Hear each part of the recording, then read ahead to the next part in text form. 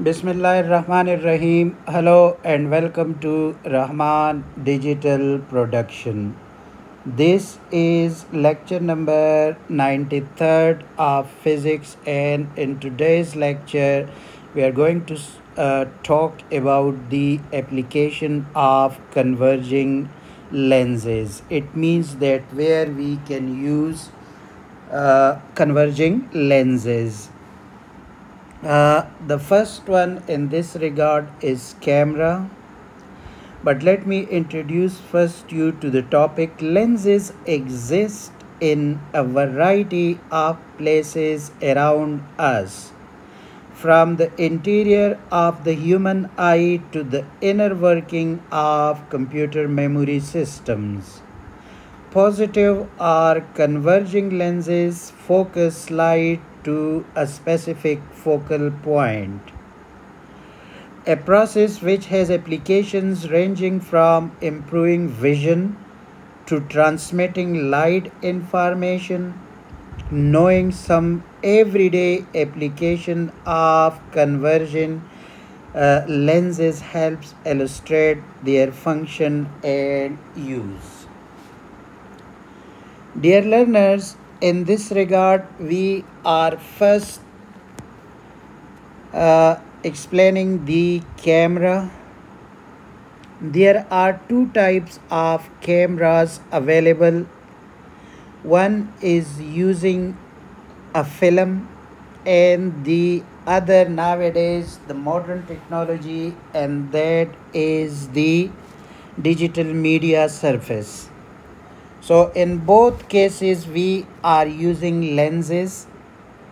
The camera uses a convex lens, usually several lenses to produce a real inverted and diminished image on film. Focusing is done by moving the lens further from or near to the film. A distant object requires the lens to film distance to be the focal length of the lens. A nearer object requires the image distance to be greater than the focal length. Let us discuss that in this particular uh, figure there is given full detail of the working principle of cameras. You can see in case there are at position number one they are lenses. As i told you that the camera is using many lenses. The first lens is a converging lens the second one is a concave lens. The third one is also a converging lens. So these are the lenses which is used to focus and make it sharp and one portion is used to magnify. The first lens in this regard is used to magnify the image. The second uh, converging lens is used to focus it on the uh, viewfinder or eyepiece and to the film as well. So the second one is the reflex mirror if the image is coming to this reflex mirror then which is at about 45 degree then it is directed towards a pentaprism you can see in which is labeled as 7 5 is the focusing screen 6 is the condenser lens and 7 is the pentaprism and after passing that it will be directed to number 8 and that is the eyepiece So in this regard, we can define that lenses in a cameras are working. Cameras utilize converging lenses not only to focus an image but also to magnify it. Most camera lenses consist of a converging lens followed by a diverging lens as you can see in the uh, figure followed by a second converging lens. The first lens controls the magnification level as I told you of the image by moving towards or away from the object.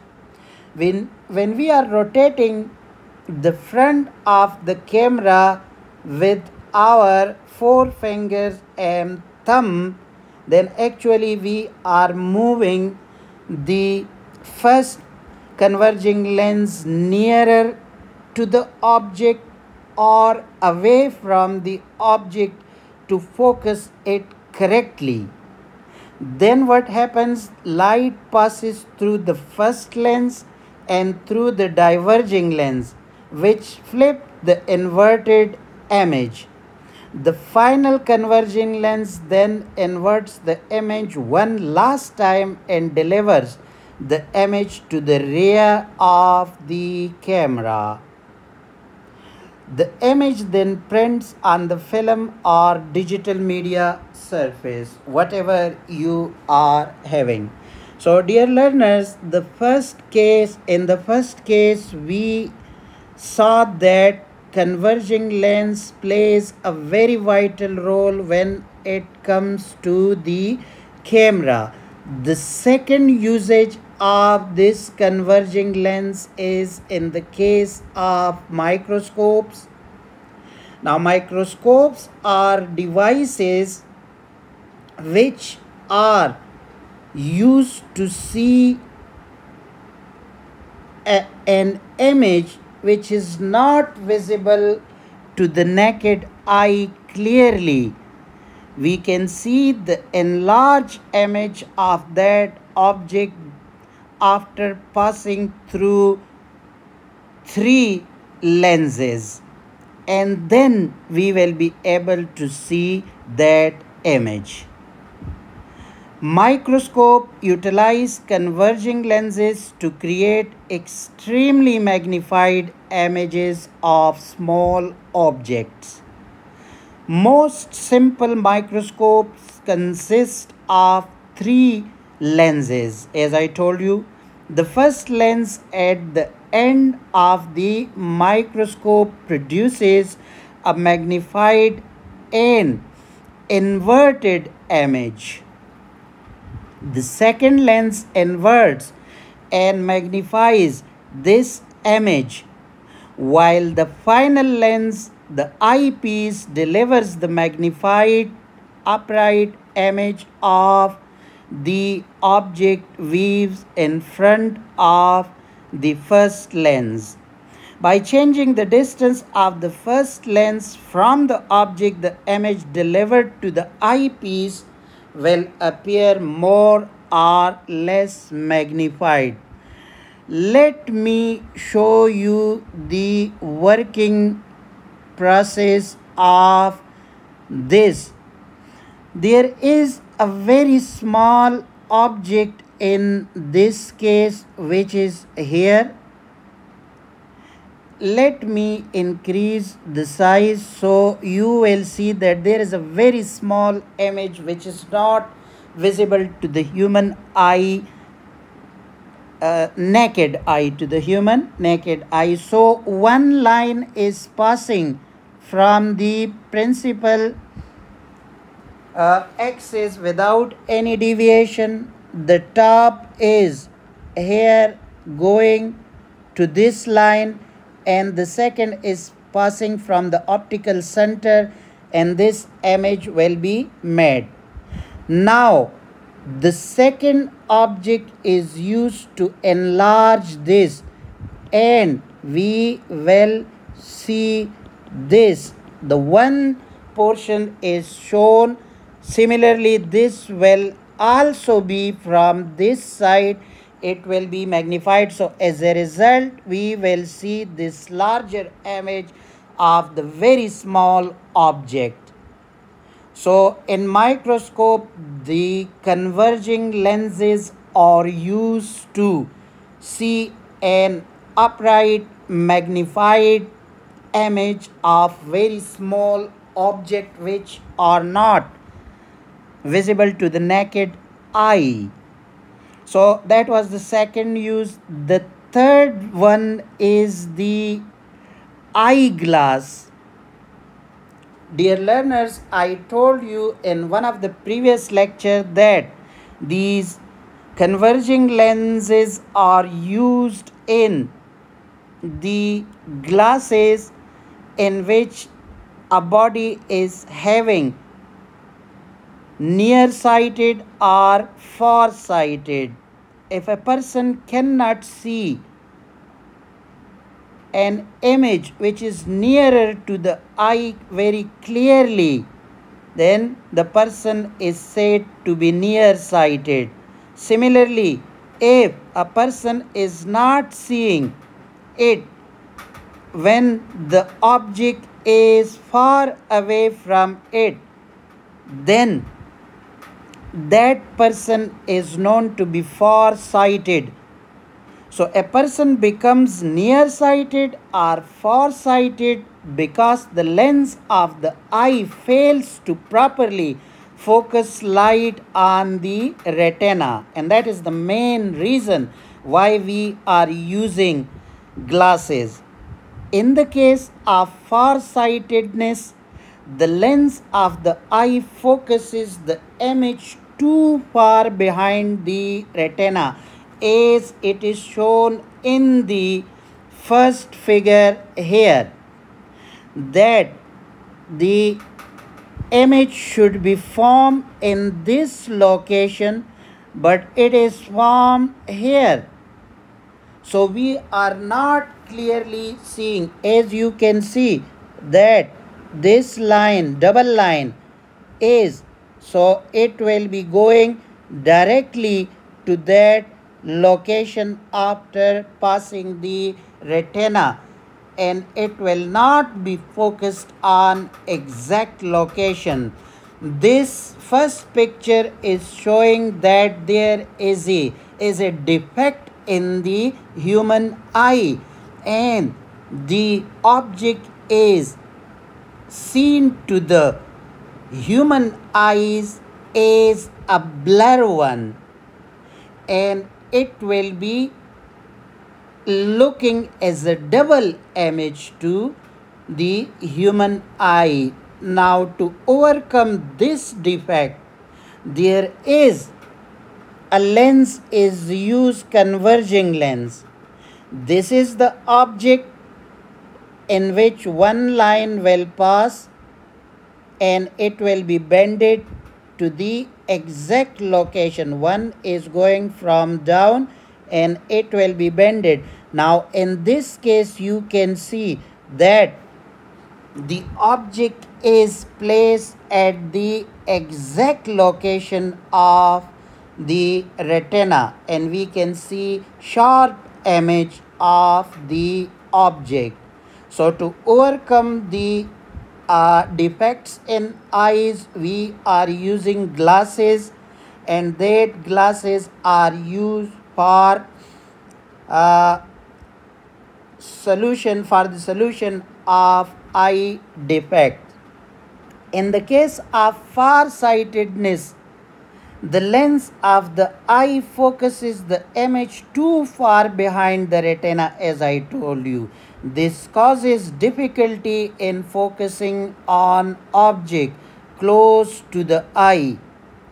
A converging lens placed in front of the eye behind the incoming light sharply so the focal point shortness shortens and the light focuses properly on the retina. So in this way we can solve the problem of short-sightedness. Remember that for far-sighted defects we are using the concave lens as well as the converging lens for short sight for near sightedness we are only using the convex lens as you can see it in this particular case now next is the magnifying glass the usage of converging lenses are used very frequently inside the magnifying glasses. These are used by different people in different repairing shops. For example, if they want to magnify a very thin wire which is known as traces uh, in technical word and they want to magnify it then they are using this uh, magnifying glasses in another place if we want to see a very short and narrow word printed on a paper and we want to see it very clearly enlarged object then we will use the magnifying glasses. The magnifying glass represent one of the simplest, most direct applications of a converging lens. As light enter the lens, it becomes focused to a specific focal point in front of the center of the lens.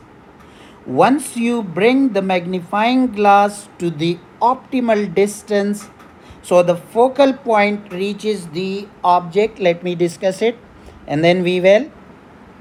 This is the object which is of flower. One ray is going from the top side and the second ray is going from the bottom side. After passing it it will go in this direction and after passing the middle it will go to this direction and it will be directed to the eyes. Now this will increase this line as well as this line and as a result we will see this image which is an enlarged one and remember that this image is a virtual image as well as the upright or erect image.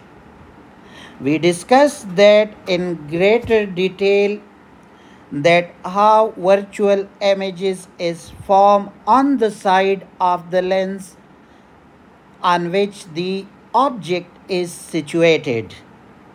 So this is the whole process. The object will appear at maximum magnification as you can see the larger image of the flower. Move the glass further from the object and it will become distorted. Yes, if you are moving it, then you will see nothing. Uh, move the glass closer to the object and it will decrease the magnification. So that is why people are moving the magnifying glasses closer to the object and away from the object to see a very crystal clear view of that small object. So that is the very direct application of the magnifying glasses there are other type of uh, usage as well and both of these two are having the same principle this is the slide projector which is also known as the overhead projector in the older days we were using a sheet of plastic on which we were printing the words which is to be shown to the large audience. So nowadays we are connecting our laptop or mobile to the LEDs or LCDs through the HDMI cable and very rare usage of the older style uh, slide projector is nowadays used. When we were in the university, we were using this slide projector uh, quite frequently. So there are two lenses, one is this one and one is this one and the third one is this. This is plano con convex lens and this is also plano convex lens. There is a lamp uh, light is passing through this which is bending it and more focusing it through the second lens and after passing from the optical center it will pass without any deviation. And you will see a very clear cut real and magnified image of the uh, object. So this is the object which we want to see in larger ratio. So these three lenses are used. We are focusing it to the middle. So when a light is passing through the optical center it will pass without any deviation. Now the next one is photograph enlarger. This is photograph enlarger and it is working exactly in the same fashion as by the slide projector let us discuss the slide projector a projector essentially uses a convex lens to form on a screen a real magnified and inverted image of the slide or film. The slide being the object is positioned between f and 2f from the lens. Yes, this object is placed in between f and 2f. And we yesterday said that if it is in f and 2f we will see inverted real magnified image we will be greater than 2f then. And i also told you that this is used in projector and photograph enlarger. Now photograph enlarger is using the same concept. Uh, here there is a photograph paper on which we want to print an enlarge uh, image of the object. So this is the light and that light after passing the two lenses which you saw in the case of slide projector after passing it it will be directed to the optical center which is denoted by C and any ray passing through that point will pass without any deviation like this and in this case also you will see that the enlarged uh, image is shown to you on the paper. As I told you, the working principle of a photograph enlarger is basically the same as that of a slide projector. It uses a convex lens to produce on photographic paper a real, magnified and inverted image of the film. The focusing action of the enlarger is the same as that of the projector. So we discussed that and with this we came to the end of this theoretical portion. Tomorrow we will inshallah start the uh, exercise on this. Uh, so very important uh, phase is coming because we have to check our uh, knowledge that what we gained inside this theoretical portion and in the form of numerical and multiple choice questions we will uh, check our knowledge. Thank you very much for your time. Have a nice time. Allah hafiz